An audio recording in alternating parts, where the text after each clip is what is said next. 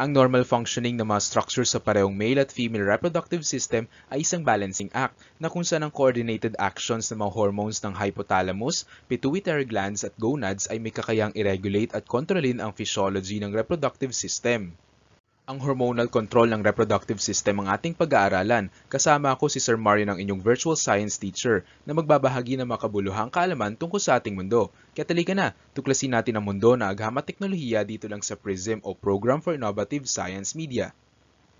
Sisimulan natin ang pag-aaral ng hormonal control ng reproductive system sa hypothalamus. Ang hypothalamus ay tinaguri ang master gland ng ating endocrine system. Ito'y matatagpuan sa ventral portion ng cerebrum ng ating utak. Pangunahing function ng gland na ito ang pag-coordinate ng endocrine at nervous system, lalong-lalo na ang pag-secrete ng hormones na magre-regulate sa actions ng anterior at posterior pituitary gland na matatagpuan malapit dito. Ang hypothalamus ay magsisecrete ng isang tropic hormone na tinatawag nating gonadotropin-releasing hormone o GnRH. Ang mga tropic hormones ay may kakayang i-regulate ang activity ng iba't ibang endocrine cells o glands. Ang GnRH na na-release ng hypothalamus ay magsistimulate ng anterior pituitary gland upang ito naman ay magsekrete ng dalawang uri ng gonadotropins, ang follicle stimulating hormone or FSH at luteinizing hormone o LH. Ang parehong hormones na ito ay mag-a-act sa ating male at female gonads na sa ating case ay ang testes ng mga lalaki at ovaries ng mga babae. Bukod pa rito, ang dalawang hormones na ito ay sumusuporta sa gametogenesis o ang proseso ng paglikha ng mga sex cells. May role din ito na ginagampanan sa production ng sex hormones.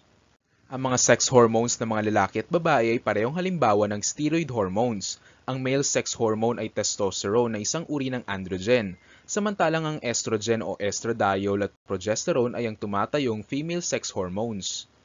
Sa mga lalaki, ang LH at FSH ay nag interact sa iba't ibang cells ng testes. Ang LH o luteinizing hormone ay nagdudulot sa Leydig cells na mag-produce ng testosterone. Ang mga cells na ito ay matatagpo ang nakapalibot sa seminiferous tubules ng testes. Kasama ng iba pang androgens, ang testosterone ay responsible din sa pag-trigger ng spermatogenesis o production ng sperm cell. Sa kabilang banda, tinatarget naman ng FSH o follicle stimulating hormone ang Sertoli cells na matatagpuan naman sa loob ng seminiferous tubules malapit sa mga spermatogonia or parent cells ng mga sperm cell. Pangunahing trabaho ng Sertoli cells ang mag-provide ng nourishment sa developing sperm.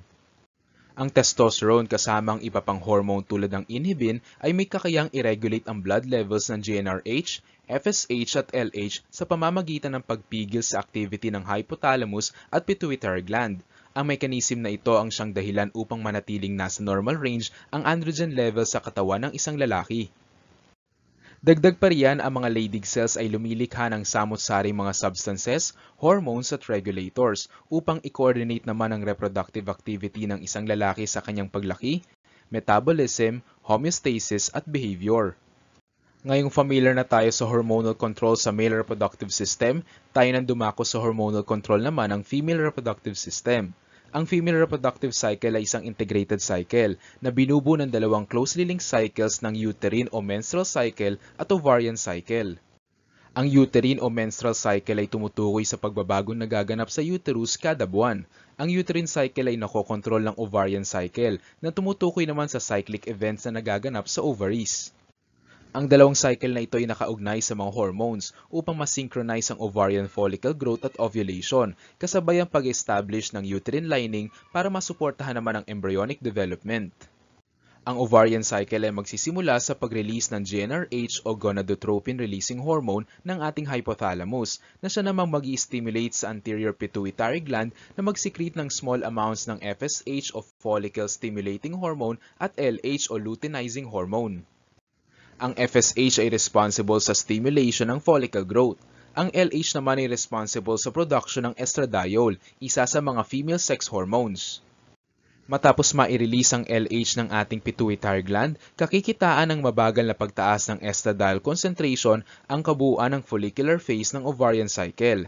Ang phase na ito ay characterized ng paglaki ng mga follicles at pagmature ng oocytes. Ang mababang level na ito ng estradiol ang pumipigil sa pagsekret ng FSH at LH mula sa ating pituitary gland. Ang follicle ay ang grupo ng cells na nakapalibot sa ating secondary oocyte. pangunahing role ng follicular cells ang pagbibigay nourishment sa ating developing egg cells sa ating ovary at pag-release ng estradiol. Kapag nagsimulang tumaas na ang secretion ng estradiol na mula sa ating growing follicle, tumataas din bigla ang concentration ng FSH at LH. Ito ay dahil sa mayroong opposite effect ang high concentration ng estradiol na sa halip na i-inhibit nito ang secretion ng pituitary gland, ito ay mag stimulate naman sa hypothalamus upang pataasin ang output ng GnRH na siya namang magpapataas ng concentration ng FSH at LH. Ang maturing na fluid-filled na follicle ay lalaki na siya magdudulot ng mga umbok nito sa surface ng ating ovary. Ang follicular phase ng ovarian cycle ay magtatapos sa ovulation isang araw matapos ang biglaang pagtaas ng luteinizing hormone. Ang biglaang pagtaas ng FSH at LH ay magdudulot ng pag-rupture ng wall ng ovary na siyang naman dahilan upang ma-release ang secondary oocyte. Ang ovulation ay agad nasusundan ng luteal phase. Ang LH ay mag stimulate ng follicular tissue na naiwan sa ovary na mag-transform sa isang corpus luteum, isang uri ng glandular structure. At dahil sa patuloy na stimulation ng luteinizing hormone, ang corpus luteum ay patuloy na magsisikret ng progesterone at estradiol. Ang patuloy na secretion ng progesterone at estradiol ay magdudulot ng isang negative feedback para sa hypothalamus at pituitary gland. Ang feedback na ito ay maaaring magdulot ng pagbaba ng FSH at LH na siya namang pumipigil sa pagmature ng isa pang egg cell dahil may tendency na ma-fertilize ang secondary oocyte na na-release kamakailan. Ngunit kung walang magaganap na pagbubuntis, ang mababang level ng FSH at LH ay magdudulot sa corpus luteum na mag-disintegrate na siya namang magmamarka bilang katapusan ng luteal phase. Ang bahagi na ito ng ovarian cycle ay markado ng biglaang pagbaba ng estradiol at progesterone concentrations. Ang patuloy na bumababang level ng ovarian hormones ang magdudulot naman sa hypothalamus at pituitary para sa isang negative feedback effect kung saan ang pituitary gland ay magsisimula muli mag-secrete ng FSH upang ma-stimulate naman muli ang growth ng bagong follicle sa ating ovary. Ang mechanism na ito magpapasimula muli ng bagong ovarian cycle.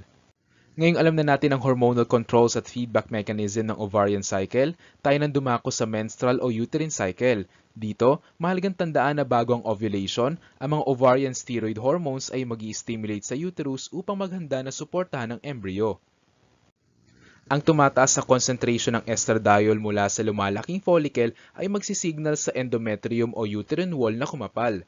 Ang phase na ito ng uterine cycle ay tinatawag na proliferative phase at ito'y coordinated sa follicular phase ng ating ovarian cycle. Matapos ang ovulation, ang estradiol at progesterone na nasikret ng corpus luteum ay mag stimulate sa pagpapanatili at patuloy na development ng uterine lining. Ito'y markado ng paglaki ng arteries at maging ang paglaki ng mga endometrial glands. Ang mga glands na ito ay nagsisikret ng nutrient fluid na kaya mag-sustain ng embryo bago pa man ito mag-implant sa uterine lining. Ang bahagi na ito ng uterine cycle ay tinatawag na secretory phase at ito'y coordinated sa luteal phase ng ating ovarian cycle. Ngunit kung sakaling walang embryo na may implant sa endometrium sa pagtatapos ng secretory phase, ito'y magdudulot ng pag-disintegrate ng corpus luteum. Ang kaganapan na ito ay magdudulot ng biglaang pagbaba ng ovarian hormone levels na siya naman magdudulot sa pag-constrict ng arteries sa endometrium.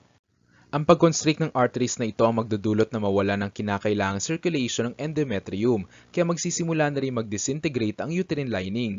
Ang kaganapan na ito ay magdudulot ng pag-release ng dugo kasamang iba pang endometrial tissues at fluid. Ang proseso na ito ay tinatawag nating menstruation na bahagi naman ng menstrual flow phase ng uterine cycle. Sa menstrual flow phase na ito na kadalasan tumatagal ng ilang araw, isang bagong group ng ovarian follicles ang magsisimulang lumaki at by convention, ito magmamarka ng unang araw ng bagong uterine cycle kasabay ng bagong ovarian cycle. At matapos ang halos 500 cycles, ang isang babae ay sasailalim na sa menopause na kung saan titigil na ang ovulation at menstruation. Kadalasan nagaganap ang menopause sa pagitan ng mga edad na 46 hanggang 54. Sa interval na ito, nawawala ng responsiveness ang ovary sa FSH at LH na siya naman magre-resulta sa pagbaba ng estradiol production. Kaya para sa review, ang male at female reproductive system ay pareho na kokontrol ng isang coordinated system ng hormones, endocrine glands at gonads.